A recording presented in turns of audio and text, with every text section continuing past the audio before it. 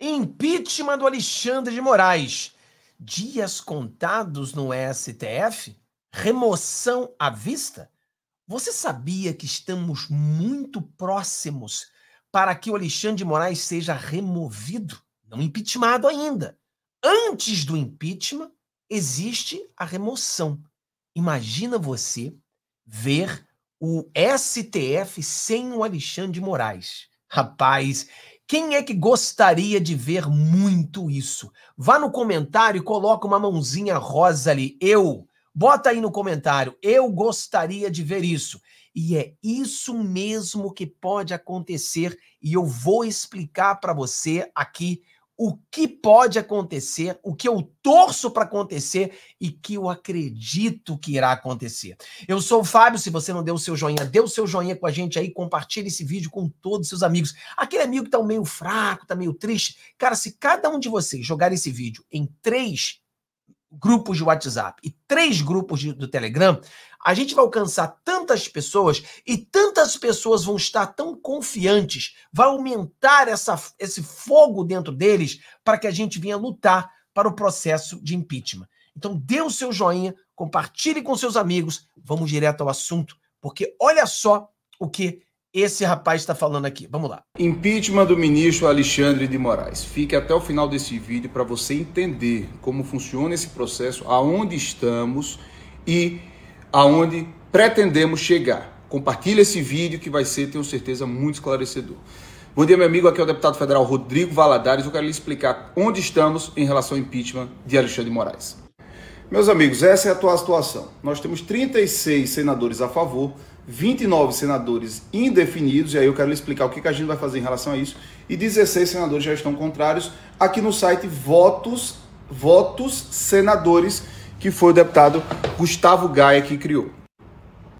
E aí surgem muitas dúvidas. Nós precisamos de 41 senadores, nós que a maioria simples, são 81. Nós precisamos de 54, que é a maioria qualificada, dois terços, que é o voto que caça. Deixa eu lhe explicar. Nós precisamos aqui, a gente está em 36 certo? Nós precisamos de mais 5 para chegar, 5 desses 29 aqui, veja que não está tão difícil, para chegarmos em 41 senadores. Com 41 senadores, ou seja, maioria simples, e o processo aberto, aí pressão no Pacheco, pressão nos senadores para dar pressão nele, com 41 senadores, o processo é instaurado pelo plenário depois de passar por comissão especial, depois de algumas, algumas nuances técnicas. Instaurado o processo, lembra lá como aconteceu com, com a Dilma, quando instaurou, instaurou o processo, ela foi afastada por 180 dias e depois que afastado, afastada foi caçada. Lembra que foi assim? Aqui é a mesma coisa. Se chegarmos a 41 votos e instaurar o processo, ou seja, iniciar o processo efetivamente no Senado, esse carinha aqui vai ser afastado automaticamente. Aí a gente sabe, com esse rapaz afastado, as coisas ficam ainda mais fáceis.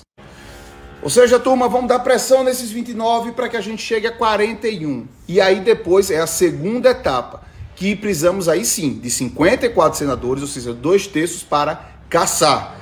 Mas com ele fora, você acha que é mais fácil ou mais difícil a gente conseguir os 54 senadores? Estamos muito perto. Vamos manter a pressão, a vigilância. E lembre-se, tem que dar pressão no seu senador para dar pressão em Pacheco para ele abrir o processo. Entregamos nesta segunda-feira o processo. Vamos botar gente na rua, vamos fazer pressão para que a gente tenha de volta o Estado Democrático de Direito em nosso país. Compartilhe esse vídeo, eu tenho certeza que vai esclarecer a dúvida de muita gente. Que Deus abençoe a nação brasileira. Sigam as nossas redes sociais, Rodrigo Valadares, underline. Grande abraço.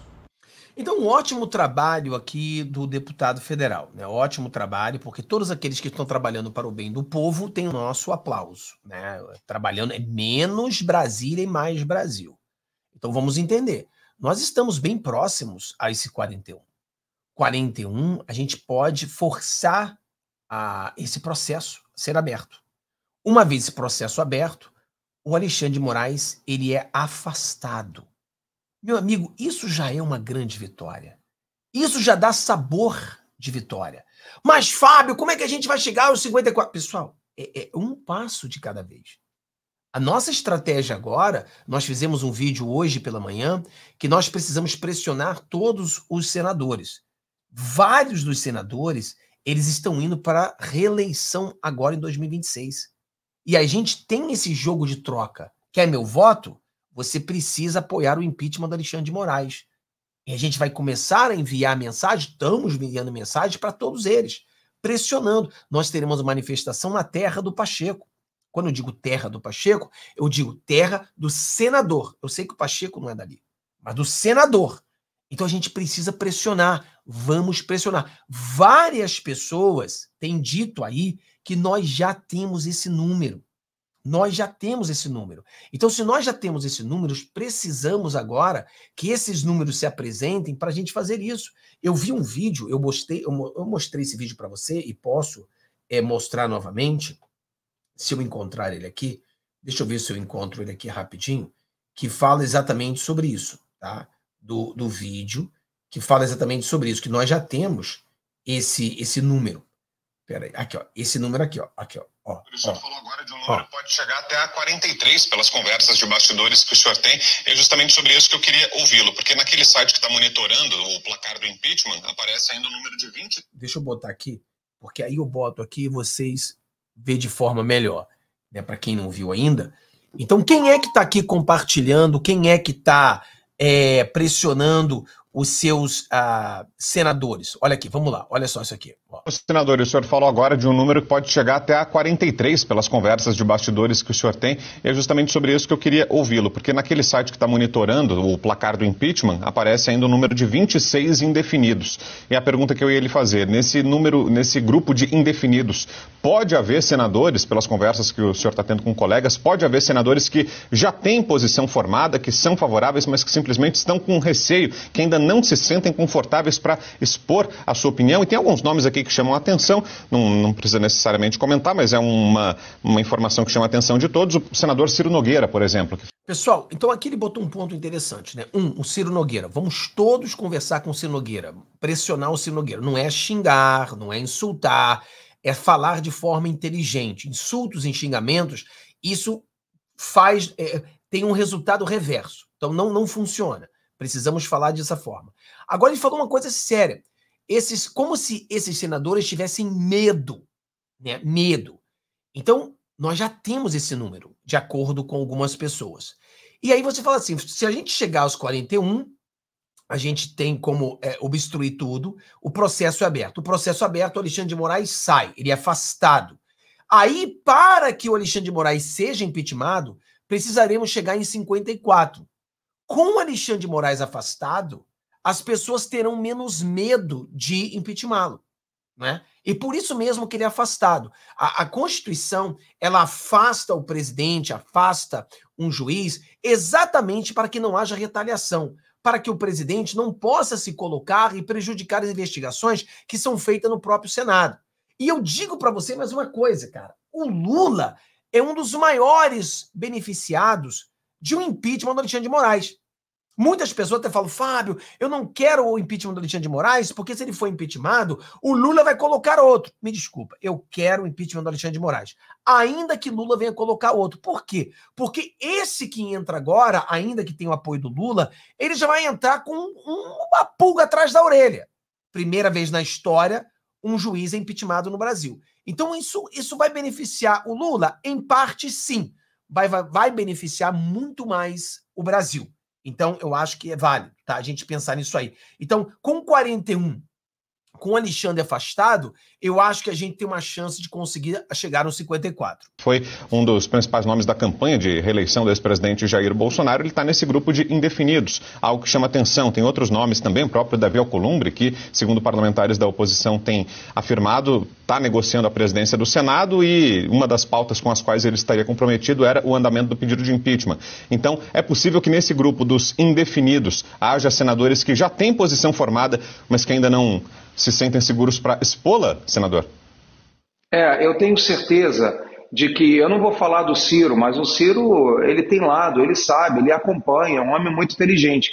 Mas vamos falar de partidos para nós não personalizar, personalizarmos a, a, a questão.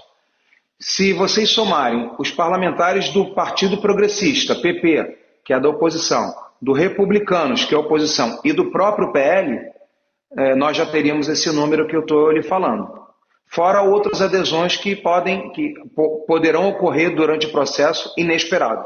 mas muitos senadores que nós não contávamos o voto, né, que inclusive votam majoritariamente com projetos do governo, Vitor, já assinaram o pedido de urgência, porque esse pedido que os senadores fizeram é pela, pela urgência da tramitação da, do, do, processo que os é, deputados federais apresentaram.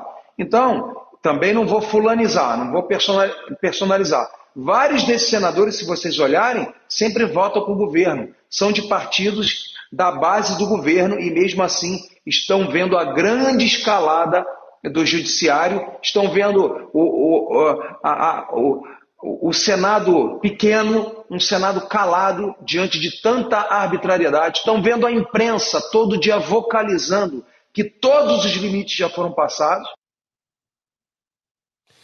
Então a gente vê aí já podemos ter esse número, né? Então, é claro que a palavra do senador, o senador está ali dentro, conversa com pessoas, vão acreditar, mas é aquela coisa, se a gente já tem esse número, então por que, que não é colocado, né? Então, eu acho que isso aqui é bom, a gente entender essa jogada, continuar acreditando. Fiz um vídeo mais cedo hoje mostrando que a esquerda começa a soltar a mão do Alexandre de Moraes. É importante você assistir o outro vídeo também que eu fiz porque nós precisamos estar nessa guerra, pessoal, uma guerra para salvar o Brasil. E nós não temos muito tempo, tá? Então Deus abençoe todos vocês. Se vocês não deram o seu joinha, dê o joinha, compartilhe com seus amigos. Vejo vocês no nosso próximo vídeo. Tchau, tchau. Um abração, galera. Um abraço.